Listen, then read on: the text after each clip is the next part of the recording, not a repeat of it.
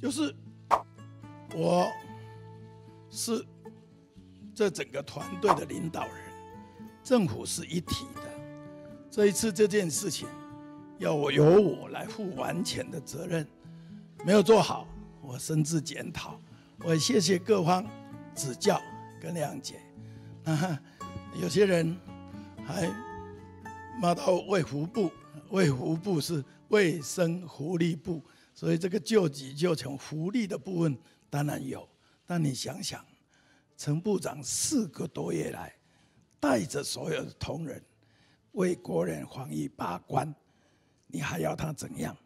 那他底下的这个福利部的同仁也才那么一些人啊，突然增加这么多的工作，从中央到地方，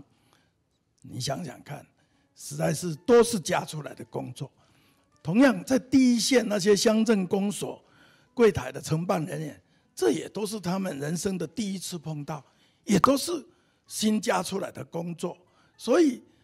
这个对这些公务人员来说也都是第一次。在这里，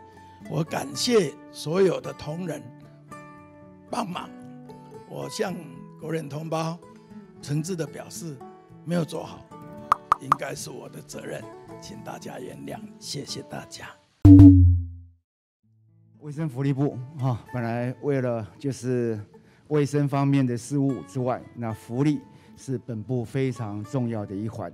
那当社会在防疫在辛苦的时候，那怎么样照顾最弱势的同胞们，就本来就是我们应该要做的事情。那不过呢，这一次因为在这个名单里面。跟我们的低收入户，或是我们的中低收入户，或是以前急难救助的对象，事实上都有一些相同，有一些不同，所以在名单的整理跟名单的一个审核上面，都造成很大的一个困扰。那本部在执行这样的业务的时候，没有注意到相关的失误，所以对地方基层的工作人员带来很大的困扰。我在这里也要跟他们讲一声谢谢，大家辛苦了。希望救急救穷能够深刻检讨、简化程序，所以你只要带着身份证，你签了切结，政府就给你受理。本来你应该有这一些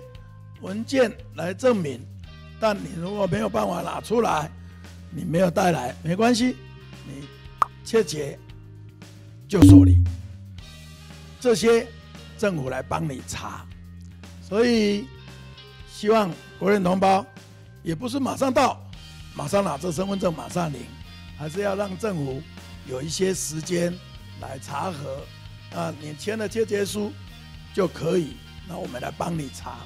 所以我们快速收件，由中央来审核，基层免责。所以这一切是中央决定的政策。所以基层不用负任何责任，那这不是卖火车票，卖完就没有，这只要符合条件，政府就会给你这个钱。那时间申请的时间到六月三十号，所以大家不用急，大家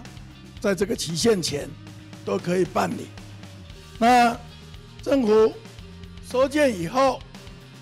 资料如果备得很齐全，那大概三到五个工作天就可以入账。政府要查资料，总是要给政府工作人员从收件、整理、勾稽要一些时间，所以我们会尽快的就相关的资料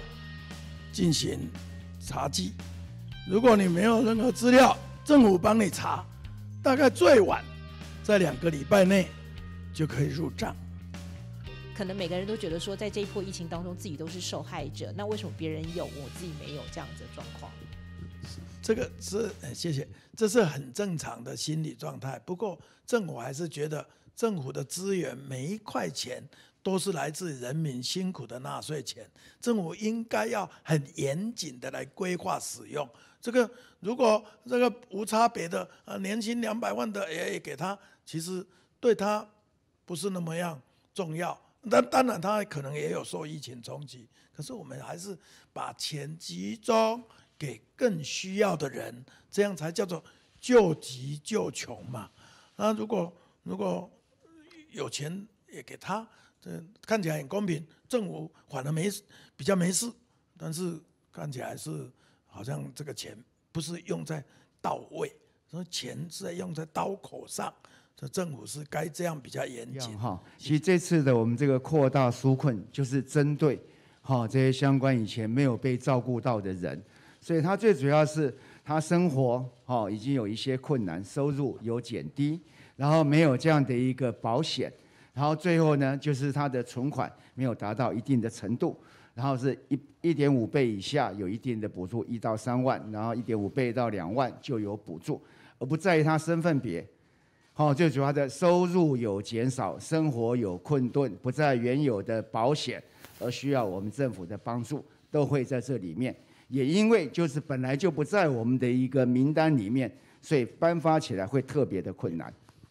可能很多民众一听我礼拜一讲，就急着好像赶快来申请，赶快好像这个抢着，不然会好像呃就领不到了。不会的，我就讲到六月三十号，所以时间还这样，也许你慢两天会就人会比较少一点。所以请各位，我们今天之所以出来，除了道谢道歉，我们最重要是要告诉民众，其实。是六月三十号以前都可以，要告诉民众，我们我们深刻检讨，简化了程序了。我们告诉民众，我们由中央由我负完全的责任，地方免责。那我希望大家互相体谅，一起来帮忙，是这个意思。